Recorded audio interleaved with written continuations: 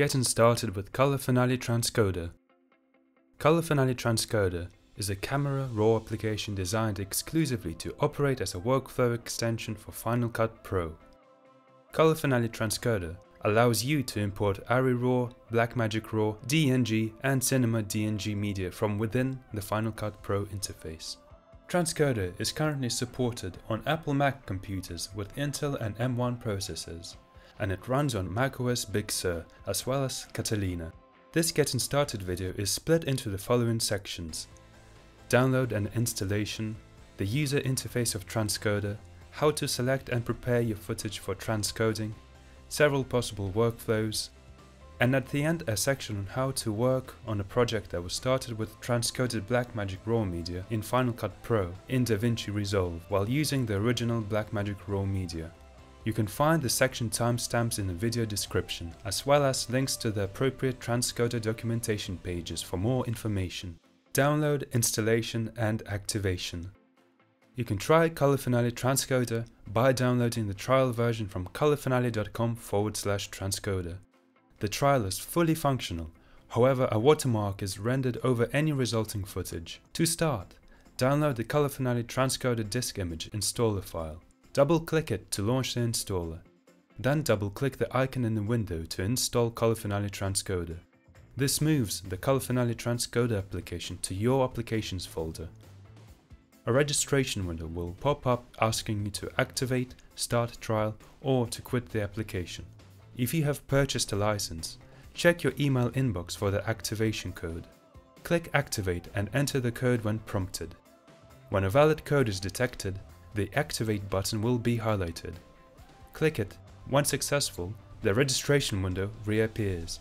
This window is also where you manage updates and deactivations. Up to two computers may be simultaneously activated. Color Finale Transcoder is placed into your Applications folder. You need to be aware of two components that are part of this app, the local processing server and the Final Cut Pro extension. When the local server is running in the background, you can see its icon in the menu bar. There is no harm in leaving it running. However, you can quit the server whenever you are not working in Final Cut Pro. All queued transcoding tasks are suspended and picked back up again when it is next launched. The Final Cut Transcoder extension launches the server on demand. User Interface The transcoder interface is divided into several resizable panes. On the left is a sidebar pane, which is further split into three sections. These sections display 1. The available local, external and networked drives, as well as favorites. 2. A render queue and 3. A disk space gauge. The gauge indicates the available free space on your internal system drive, along with the estimated file size of the selected clip, based on the current codec and resolution parameters. The center pane is divided into two sections, a media browser and a viewer. The image viewer allows you to step through the footage one frame at a time. There are three controls located directly above the viewer. These only affect how a clip is displayed in the viewer. They do not affect the transcoded file. The three controls are LUT browser. Selecting a LUT will apply it to the movie clip in the viewer, and the LUT name will appear next to the LUT browser icon. Lens. If you have squeezed footage that was filmed with an anamorphic lens, Use one of the pull-down options next to the lenses to correct the display. The pull-down menu offers aspect ratios from 1 to 1 up to 2 to 1. When selecting an anamorphic correction, such as 1.5 to 1 or 2 to 1, the original and rendered media remain unchanged and are only corrected in the viewer aspect ratio metadata, which is also preserved. This means that not only will the squeezed clip be shown correctly or desqueezed in the viewer, but also in Final Cut Pro, as well as when watching the clip in QuickTime Player, since all the information is in the metadata. Display color space. Final Cut Pro supports standard dynamic range, SDR, and several high dynamic range, HDR, color spaces.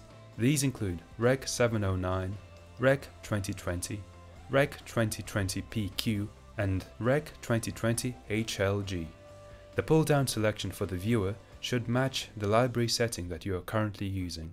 The right side of the transcoder window is where you adjust the camera raw parameters. This pane includes two tabs, a metadata inspector and the camera raw transcoding controls. The Camera Raw tab is split between the Scopes display at the top and the adjustment parameters in the bottom half of the pane. All the metadata parameters in the Metadata Inspector are transferred to Final Cut, together with the clip. Footage selection and adjustment. To use Color Finale Transcoder, select a desired media drive from the sidebar, which displays the folder contents within the integrated file browser. Navigate into the folder containing the raw files that you want to import. Only the file names of the supported camera RAW files are displayed. If you have a folder of B-RAW or ARRI-RAW movie files, you can move through the shots within that folder. To save a folder as a favorite, simply drag the folder from the center list into the sidebar under the Favorites section. In the media browser, you can select one or more clips to preview and adjust their raw parameters. You can select which metadata columns to show.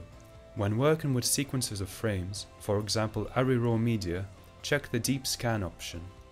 Deep Scan scans all the subfolders within a selected main folder for camera raw files. Any files that are detected are displayed in a media browser list, indicated by an alias symbol. Deep Scan enables you to see the clips at the top level of the main folder without the need to step into each clip folder. Enabling Deep Scan may take some time to complete if your main folder includes a large number of camera raw files. When working with image sequences and Deep Scan hasn't been enabled, you will need to step into each shot subfolder in order to see that clip. When you step into each subfolder, will only see a single file name for that entire clip and not all of the individual frames of the sequence. This will be the name of the first frame of the consecutively numbered image sequence. Proceed through each camera raw clip and adjust the color space and camera raw parameters for desired brightness, contrast and color using the transcoder parameter settings in the right hand pane. Use the waveform monitor as a guide to adjust white balance and exposure. Trim the in and out points with the mouse or by using the I and O keys on your keyboard for each selected clip if you only want to import shorter sections. Transcoding parameters may be copied and pasted between clips using the copy and paste buttons located in the lower right corner. If you select Paste Special, the pane displays a selection of settings to paste. This may be used if you only want to paste some but not all of the copied parameters. After you have done this for each clip, select one or more clips in the file browser that you want imported. Three workflows to import data to Final Cut Pro there are several ways to transcode and import media into Final Cut Pro. The first method is to work in tandem with Final Cut Pro. The Import Selected button is located under the file browser. Color Finale Transcoder defaults to a new Final Cut Pro event name based on the current date. You have the option to create a new event name. With a desired clip selected, click the Import Selected button A pop-up window appears allowing you to assign the destination of the Final Cut Pro library for this new event. At first, the clips in Final Cut's event browser will be shown as being offline. Transcoder renders those clips as new, optimized, original media in the background. Final Cut Pro is writing these rendered files to disk. Once the rendering step is complete, the clips appear with media and are ready for editing. These optimized files are stored in the Final Cut Original Media folder located on a drive that you have designated in the settings for that library. If that location is your internal hard drive, then it is important to be mindful of the size and number of files you intend to transcode. If you plan to transcode large batches of files, the next alternative methods may be preferable. Two additional external transcoding methods have been added since the initial launch of Color Finale Transcoder. Save transcoded media and Queue for transcoding. Right-click any camera raw clip in the Media Browser panel for an additional pull-down menu. From these options, you may reveal and finder, save transcoded media, or queue for transcoding. When you select Save Transcoded Media, the selected clips will be rendered to your Downloads folder. During this process, your default web browser will briefly open. This is normal. To use the render queue, select one or more clips right click and choose Queue for transcoding. A file browser panel will open for you to choose the target drive or folder for the rendered files. The selected files then appear in the queue section on the left along with the progress indicator. Using the queue is an ideal method to process a large number of camera raw files as a batch. It is also an important way to avoid using your internal drive space, since the renders can be targeted at any drive and thus won't impact your internal storage if a larger capacity external drive has been selected. The media will not automatically appear inside an event, so an extra step is required. Highlight the processed files in the queue and click the Import Processed button. A window will open up enabling you to assign the Final Cut library for these files. They are then automatically imported using Final Cut Pro's leave in place method. Alternatively, you can manually import these files using the standard Final Cut Pro media import routine. Note that only footage brought to Final Cut Pro via the import buttons or dragging and dropping from the transcoder window retains all camera metadata. Conform footage to original Blackmagic RAW media in DaVinci Resolve. In Transcoder, select your RAW clip files and then adjust their settings before transposing into ProRes. Press Import Selected on the chosen clips to transcode them into ProRes for Final Cut Pro. Now edit your video from the resulting clips. Let's just add some dissolve effects between the shots. Export the project's XML to a folder and then let's head over to DaVinci Resolve for the rest of the work. The following steps are very important to be able to conform to original Blackmagic RAW media. In the DaVinci project settings, under the Camera RAW tab, select the RAW profile, decode quality, and the option to decode using camera metadata. In the Color Management tab, under the Lookup Tables section, apply the LUT for the Blackmagic Design camera, in our case, the Blackmagic Pocket 6K.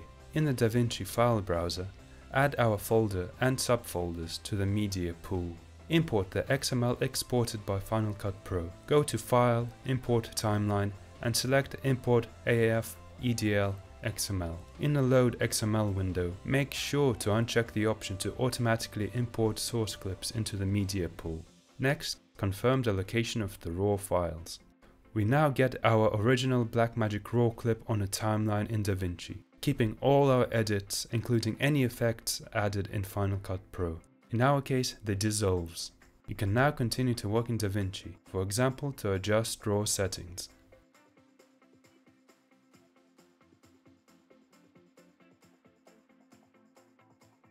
Thank you for watching this video on Color Finale Transcoder.